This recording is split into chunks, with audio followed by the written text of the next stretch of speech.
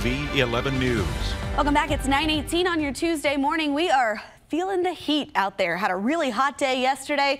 That's going to be the case again today. We'll get a little bit of relief over the next couple of days, but really the big relief doesn't come until this weekend. So we do have those heat advisories in place for El Paso County, down into parts of Pueblo County, also over towards Cañon City there. You can see one of those up in the Denver metro area. And then for some of you folks out across the eastern plains as well, and for good reason, a lot of folks going to be back into those triple digits once again today. We saw some triple digits yesterday too. So out across the plains, 105 for Lamar, 102 for La Junta Eads, 103 for Ordway. Same story around Pueblo. 101 for Cañon City today, 94 in the Springs, 84 Woodland Park, 87 in Monument, and up towards Denver, those mid 90s there once again. So make sure you're keeping yourself nice and safe and cool, but also consider those uh, plants, those gardens. It is very hot today. Might be a good day to give those guys a drink of water. We're going to stay pretty dry today. No real storm threats into our afternoon. But over the next couple of days, we are going to see some showers moving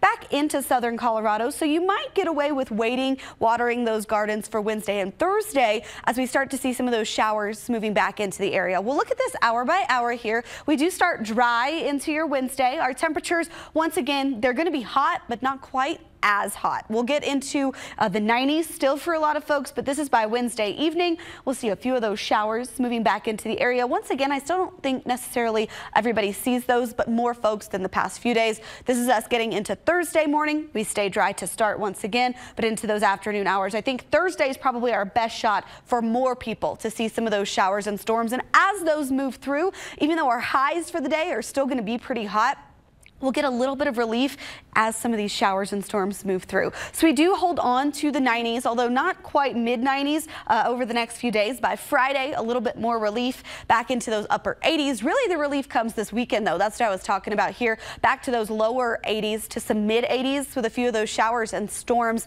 lingering at that point. That'll be the same story, really area wide. You'll be pretty close to triple digits, though. Uh, through Friday for Pueblo, you'll be in those mid 90s around Cañon City, some 70s and 80s around Woodland Park. Really a daily chance at a shower or storm for Woodland Park during the weekend, though. Probably